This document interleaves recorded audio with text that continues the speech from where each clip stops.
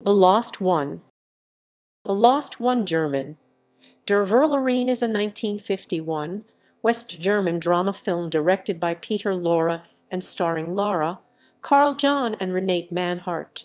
It is an art film in the film noir style, based on a true story. Lorre wrote, directed and starred in this film his only film as director or writer. The film's translated name has been used as the title of his biography. The film's sets were designed by the art director Franz Schroedter.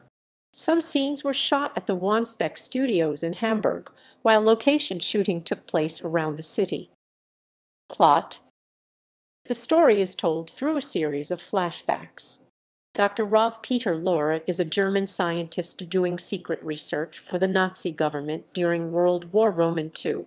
After he discovers that his fiancée has been selling secrets to the Allies, he murders her.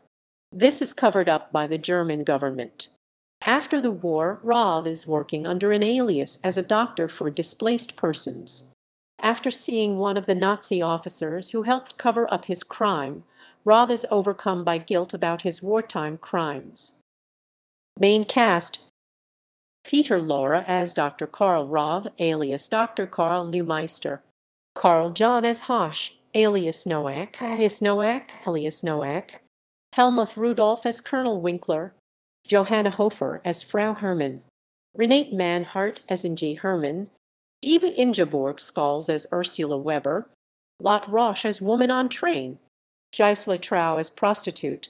Hansi Wendler as Rav's Secretary. Rav's Secretary, Secretary, Secretary. Rav's Secretary, Secretary. Rav's Secretary.